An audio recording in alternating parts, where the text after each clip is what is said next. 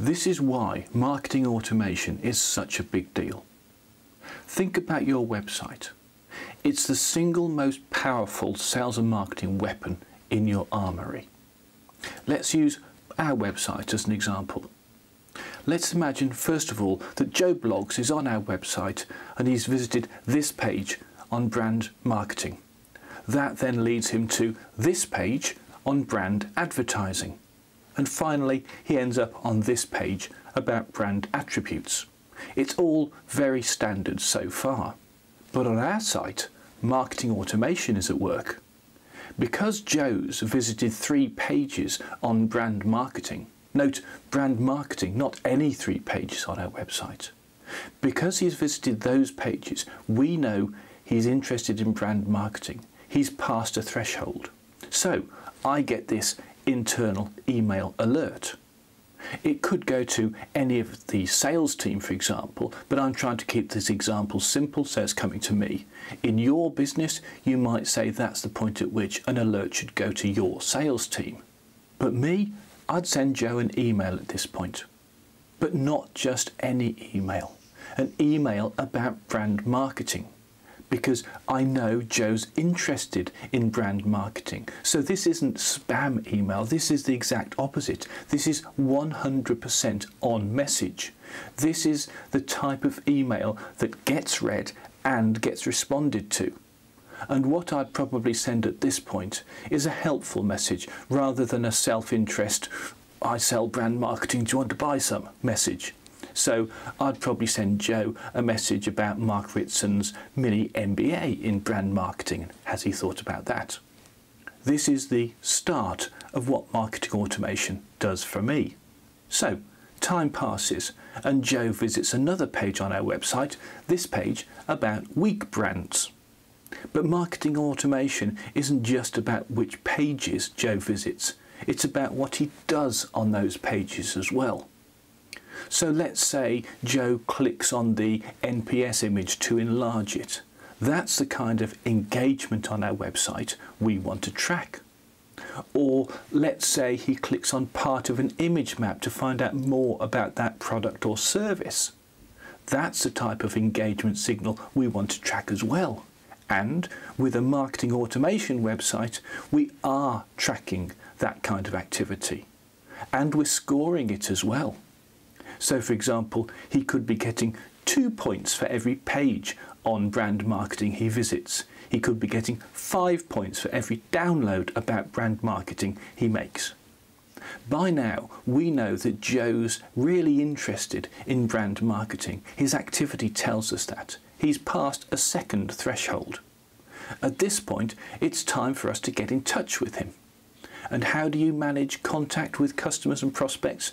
With CRM. So automatically in the background, this task has been created in our CRM system. And this task is telling one of our sales team who to call, why to call, and it's actually given them a deadline for when they need to call by as well. And all of this is in the CRM system because this is part of an integrated system. So our website talks to our marketing automation system. They're intertwined, as is the email system, as is the CRM system. It's all integrated. So you can see how marketing automation turns website visitors into customers. That's one of the reasons it's such a big deal.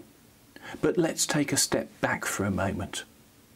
Before we can start emailing and talking to Joe, we've got to know that that anonymous visitor who's trawling through our website is indeed none other than Joe Bloggs. How do we persuade him to identify himself to us so we can track his activity and talk to him? Marketing automation helps us with that as well. If Joe was somebody we had already heard of, if we'd seen his name in the press, then we could start off by sending him an email. If he responds to that email, then we track everything he does afterwards on our website. And it's worth saying at this point, this is not the creepy cyber stalking type of tracking that third party uh, cookies were so infamous for. This is just watching what somebody does on your own website. It's like a shop assistant uh, watching what kind of clothes you look at in their store. It's not like that shop assistant following you out of their shop and seeing what you do in the rest of your town centre visit. On the other hand, if you don't have any clue who Joe is, if it's just an anonymous visitor on your website, you can try using pop ups. So, if they visit three pages on brand marketing, we know they're interested in brand marketing, so we show them a pop up saying, We've got lots of advice on brand marketing. Would you like to see it? And notice this is a relevant pop up. It's not like you've been looking at dog food, do you want to know about nuclear physics? This is the kind of pop up that's not as intrusive as pop ups usually are because it's 100% on message. Alternatively, you could use a chatbot that pops up in a similar circumstance that says, What are your main concerns about brand challenges? The chatbot asks the questions and provides the answers, and it finds out who the customer, who that website visitor is. These are all different aspects of marketing automation, but that's not all it does either. It does email management as well email is still the most cost effective of marketing tools. With marketing automation, you can add a new prospect to your mailing list and they will automatically get a series of relevant emails. And the marketing automation system will track how they respond and what they do on your website in response to those emails. When you get a new idea that you want to share with your prospects, you can just add it to your email series and everyone on that list gets it automatically and everything they do in response is tracked. So you always know what people are interested in and whether they're interested at all.